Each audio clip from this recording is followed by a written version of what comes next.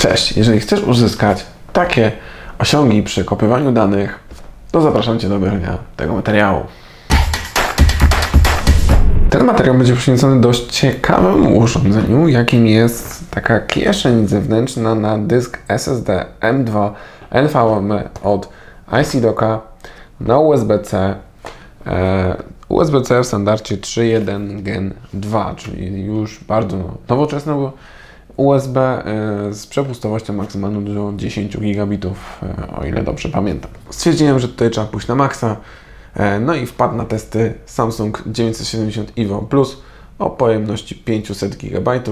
Jak możecie zauważyć właśnie teraz, jest to najszybszy dysk M2 NVMe na PCI Express 3.0. Pomijam 4.0 i tak czytnik by tego nie obsłużył, a tak naprawdę nawet ten dysk okazał się dla niego troszeczkę za mocarny. Na początek maluteńki unboxing tego, co mamy w pudełku, mianowicie papierologia i uwierzcie, będzie istotna, jak ten czytnik skręcić. Eee, że tak powiem, lecąc dalej, kabelkologia, kabel USB-C do USB-C, kabel USB-C do USB-A. No bo nie każdy ma na przykład wyjście C w obudowie, ale uwierzcie mi, że jeżeli ktoś nie ma e, szybkiego USB-C w swoim komputerze, to ten e, dysk e, wsadzony do tego czytnika będzie miał raczej nikły sens. Taki oto fajny radiator aluminiowy. Jest on niezbędny, a żeby osiągnąć e, tym czytnikiem maksa, termopad, który też jest niezbędny, żeby osiągnąć maksa. No, śrubokręciki, śrubki, e, wszystkie rzeczy niezbędne do skręcenia, no i nasz sam czytnik, który raczej nie wygląda jakoś zjawiskowo, jest takim dużym kawałkiem e, aluminium, e, które mm, będzie przewodziło i prowadzało nam ciepło. Tutaj mamy wyjście USB-C oraz możliwość zablokowania dostępu do tego mm, dysku. Pokażę Wam, jak wygląda stricte sam czytnik teraz.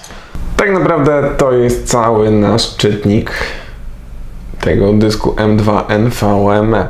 Jeżeli chcemy, aby nasz dysk e, osiągał swoje maksymalne e, prędkości e, w tym czytniku, no to jesteśmy zmuszeni nasz dysk zamontować w tym oto adapterze.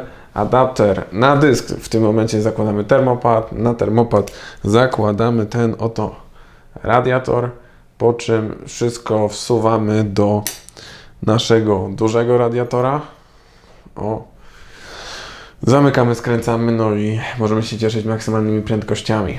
Teraz przejdźmy już do testów. Zacznijmy od yy, najprostszego, zarazem najstarszego w tym zestawieniu USB, czyli USB kiedyś 3.0, teraz jest to 3.1 Gen 1, chyba z tego co dobrze e, kojarzę. Wynik z benchmarka E, z tym dyskiem osadzonym w tym adapterze na USB starym 3.0 e, macie teraz na ekranie, nie powala.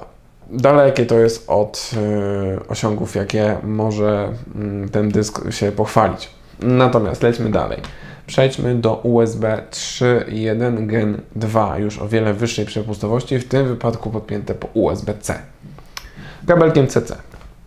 No i patrzcie, jakie teraz mamy wyniki. Bang niesamowite wartości jak na y, USB i transfer ogólnie osiągnięty po kablu, a nie y, jakimiś złączami M2 wbudowanymi na płytę. Dla porównania, taki sam dysk posiadam w swoim komputerze i teraz możecie zauważyć wynik, jaki mój dysk w kompie osiąga y, wewnątrz wpięty w złącze M2.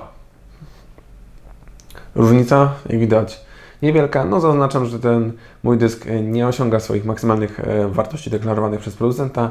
Z prostego tytułu siedzi na nim system, więc jest stale obciążony. No dobra, dobra, powiecie, ale no to nie jest maks, co można teraz w komputerach spotkać, tak? Bo mamy chociażby USB 3.2 Gen 2 albo USB 3.2 Gen 2 X2 bądź Thunderbolt 4. E, no i tak, zgadzam się. Natomiast mój komputer maksymalnie posiada USB 3.2 Gen 2 o większej jeszcze przepustowości. No i co się stało, gdy podpiąłem ten dysk e, do tego USB, e, też USB-C, no i zacząłem benchmark. Bang. Zdziwieni? Ja też. Przyczyna najprawdopodobniej dysk zaczął trotlować i mocno się przegrzewać, więc tutaj trzeba by termicznie poprawić coś w odprowadzaniu ciepła, tak, e, z samego dysku poprzez ten radiator. Uwierzcie, że nawet radiator był bardzo ciepły, ja go testowałem, także tam w środku musiało być niezłe piekło. No dobra, więc wróćmy do teraz poprzedniego złącza, na którym osiągnął maksymalną e, swoją przepustowość. Patrzcie, z, jak, z jaką prędkością e, się film, który bardzo dużo miejsca zajmował, kopiował e, na ten zewnętrzny nośnik. No, wartość do pozazdroczenia na każdym innym sprzęcie. No niestety jesteśmy bardzo mocno tutaj ograniczeni do tego, żeby nasz e, komputer posiadał bardzo szybki dysk budowany, żeby nasz komputer posiadał odpowiedni typ złącza, więc na razie to jest fajne, ale tylko jeżeli spełni się bardzo dużo kryterii i obostrzeń. Natomiast w przyszłości takie transfery, czemu nie, będą myślę e, z dużą łatwością do osiągnięcia na większości e, naszych sprzętów komputerowych. Tak więc podsumowując materiał, jak oceniam ten oto e, całkiem mały i zgrabny adapter dysków M2 NVMe na USB. Oceniam bardzo pozytywnie, ale nie bez wad. Jego cena jest, no jak na tego typu sprzęt, raczej niska i akceptowalna. Przepustowość jest bardzo wysoka, ale jednak Coś bym jeszcze poprawił z termiką, z przenoszeniem ciepła do tego dużego, jednego e, wielkiego radiatora, który jest obudową e, naszego całego czytnika.